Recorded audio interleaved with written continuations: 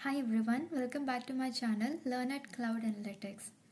Uh, so today I'm quite interested uh, because I've come up with a new series of uh, playlist. So this series would mainly focus on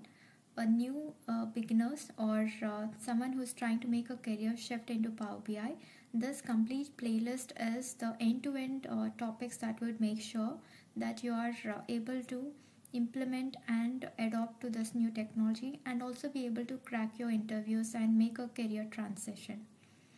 So for uh, those of you who are new to my channel and if you're watching it for the first time i'll quickly introduce myself. Hi everyone. I'm Sailaja and i have over 12 plus years of experience into data analytics.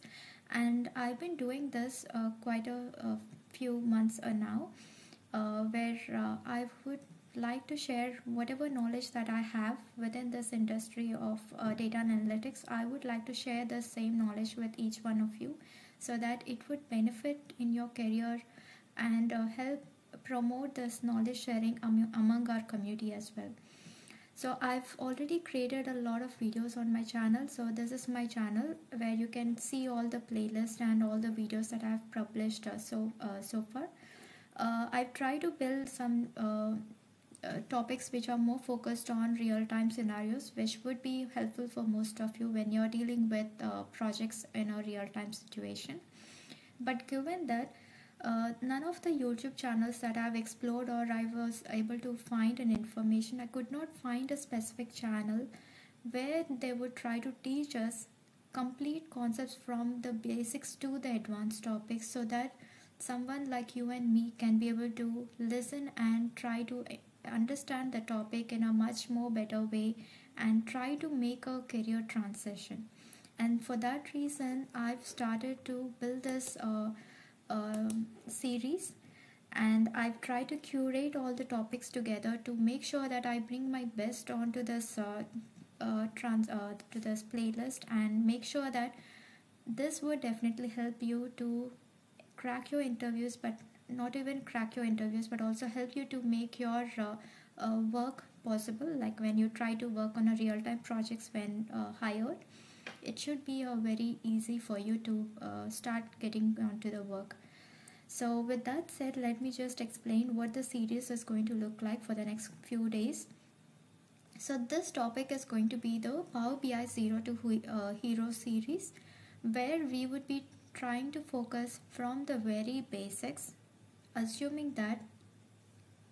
no one is aware of what Power BI is and what does that bring to the table and what are the different topics that have been covered within this Power BI we'll just go through it.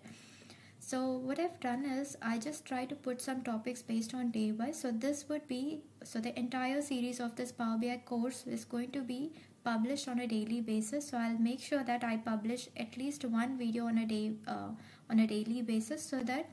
it would help you to uh, follow along and also give you some time to revise the topic and make sure that you have the ample time to practice it and come back with some question and on questions in the next uh, session.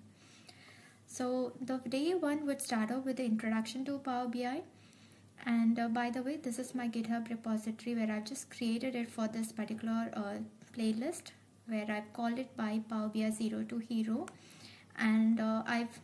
made sure that I've comprised of all the topics that is needed for you to start exploring and uh, making sure that you add the skill set onto your portfolio as well. So the first day would start off with introduction with the very basics of Power BI, uh, why is it needed and uh, what are the uh, ecosystem, the product portfolio of Power BI and uh, we'll also touch base with the very basics of data warehouse architecture and where exactly does this uh, BI fall into place and then we will go into the day two where actually the concepts will start uh, beginning. So the module one is mainly focused on the data connectors and the preparation part where we would try to understand what are the different types of data connections in Power BI and then we will slightly uh, slowly go into the uh, the data transformation uh, stage where we'll try to understand how important is it for us to deal with the data transformation layer and how can we do this data transformation which comprises of data cleaning and making sure that the data that we are dealing with is in the right structure that is needed for a reporting layer? And then we'll understand few other transformation techniques as part of this journey. And then we'll also understand how we can do some merge and append queries and what are the differences between both of them and when to use each one of them and uh, there are some uh, best practices as well which we would be covering as part of this module. And with that said uh, we will go to the next module which would be focusing on the data modeling. Now once we make sure that the data is uh, uh, cleansed to the right structure that we require for the visualization layer then comes into the uh, challenge of arranging the tables in a way that they can each talk to each other in the right way and why is this important? Because in real time it's not that we will only connect to a single table and build some report on top of that but most of the times we would have to deal with multiple tables together which means that we need to understand how are those relationships that needs to be defined and identified among those tables and how does the filtering works while we relate multiple tables together so there are multiple topics that are falling into this particular module. So for the time being, I just uh, split that into two separate days. But if that is taking a little longer than expected, then probably I would have to split it across multiple days as well. But for the time being, I just mentioned that probably we'll just focus it on uh, day three and four. But we will see how it goes along because, like I said, this focus uh, or this particular uh, course is not as uh, not just being focused on the theoretical part of uh, conversation but i'm predominantly focused on both the practical and the real time scenarios as well. So as and when when we deal with a new topic that is falling into each one of these modules i'll make sure that how are these topics being utilized and adopted in a project that we would handle. So and that is the reason why uh, if it takes a little longer then i would have to extend it for another day or two and then we'll have to skip the other topics uh, along with that uh, continuation to it. Now after we cover with the data modeling then comes uh, the advanced data modeling topics which is nothing but the dax uh, formulas. So dax is one of the vital component of power bi or at least in the terms of a power bi developer so we will go right from the very basics of DAX where we'll try to understand what is DAX and what are the basics of the DAX language and how does it help us to build a very advanced model within Power BI reporting structure. As part of this, we've got multiple uh, functions that have been provided from Power BI. So we will go through each one of those functions uh, in detail, try to understand at least the uh, the key elements or the key functions that are important for us to focus on. So for me, if I have to pick one or two functions which is quite important, the first function would be uh, the string functions, then comes the date functions and also the filter functions. So without each one of them, it's quite difficult or uh, it's not expected that we can handle any real-time project. So that's the reason I made sure that I would cover each one of these topics in deep, uh, in detail. We will also do some scenarios as we go along with the series and we'll try to understand the topic in a much better way.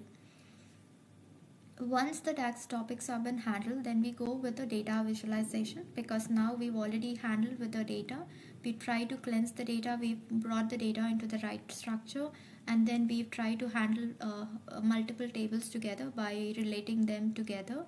and then we also added some advanced modeling techniques to ensure that the business logics have been implemented and now comes the vital place where we are trying to build some reports so that uh, it's easier for business to analyze the key insights out of the data and make some uh, valuable um, notes out of it. So that is where we'll have to understand how does the visualization play a vital role in uh, bi field and also uh, when should we use which particular chart and what are the importance of picking up the right chart type and uh, uh, what are the prerequisites and picking up uh, each one of them? And then uh, we also try to understand how we can add some interactivity to the visuals that are added on the page. And uh, we'll also understand what are the different types of filters and how we can handle filtering among different pages and the slicers and everything. And uh, slowly we'll also go into the advanced topics uh, where we'll try to create some uh, security at the data level which is nothing but the row level security. We'll play around with some data and we'll also go through some scenarios in real time and we'll try to do this in live in practical scenario. So for every topic that i've tried to list out on this uh, module or across all other modules as well we will try to implement that both in theoretical and also in practical situation. So that you know the concept and you would also understand how that can be treated and implemented in a real time scenario. And once we are uh, thorough with the data visualization model we will slowly go to the next phase or the, to the next module which is the power bi service. So this is the last module of this particular series where we would try to understand once a report has been designed in power bi desktop on our uh, desktop how can we be able to share this particular report to multiple users or business stakeholders or within the project you know? Because uh, that is another key element to understand the concept. So for that we will introduce another uh, product from power bi ecosystem which is the power bi service. And we'll try to understand what are the building blocks of a service and how we can log into power bi service and some terminologies that we will be aware of like the workspaces and the permissions and how to handle data sets like the semantic models once published and uh, all of those stuff together. And uh, there is also another key element here like uh, the data gateway. So we would also be covering those topics in detail at least explore and understand uh, how these gateways are uh, crucial in handling data that comes in from the on premises and how we can make sure that the data is refreshed and updated to real time uh, based on the uh, requirement. And then finally we would try to analyze the results by creating some dashboards on Power BI service and also try to see how we can also create and publish an app within the organization level and uh, create some content packs for online services. So these are in a nutshell how this entire playlist of the series of Power BI Zero to Hero series is going to look like. So I hope that the series would be beneficial to most of you and I would strongly request please please please to watch all of these series together because this particular course like I said is not been published nor anyone had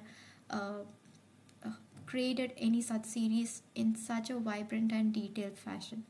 and the only intent out of creating this playlist is to make sure that at least one of you if you're able to uh, get the knowledge uh, upskill and if you're able to make a career transition as you wish that would make a lot to me. So until then thank you so much and please please please please keep following my channel and uh, i would be interested to understand what is your level of knowledge in power bi and please leave a comment in the uh, comment box and i would be helping you to uh, understand how your career shift might look like once you make this transition too until then thank you